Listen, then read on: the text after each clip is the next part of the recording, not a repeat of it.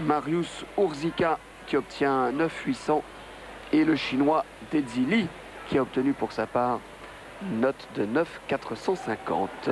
Sven Kwiatkowski au saut de cheval. Magnifique saut, un Yurchenko double vrille. Et là, c'est pilé. C'est tranquille. C'était pas mal allemand sur ce saut, là, la rondade. Renversement, double pirouette.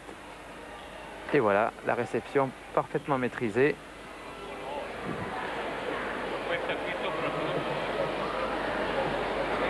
Ah oui, ça bouge pas d'un centimètre.